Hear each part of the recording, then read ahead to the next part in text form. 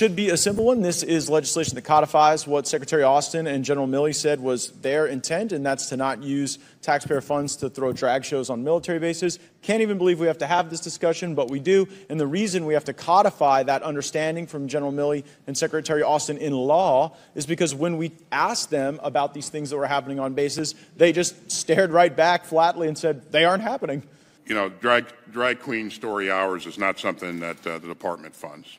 Well, wait a second. Uh, that's actually not what the record seems to suggest. You were going to fund one at Ramstein Air Force Base. That one got canceled, but that's DOD insignia. That's a drag queen story hour for children. Then also at the Joint Base Langley Eustis, you put on a drag queen story hour on a Saturday for the first ever kid friendly diversity, equity, inclusion summer festival. And at Nellis Air Force Base, you had the Drag You Nellis on June 17th. Who funded these things, Mr. Secretary?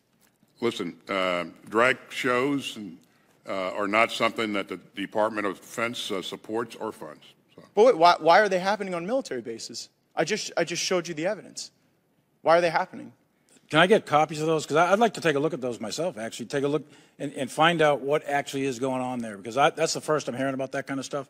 Uh, I don't read those news stories. I don't know what you're talking about. I'd like to take a look at those because I don't agree with those. Well, they're think- now in I the think those official things record. Shouldn't be happening. Thank you. Thank Yeah. you for that admission.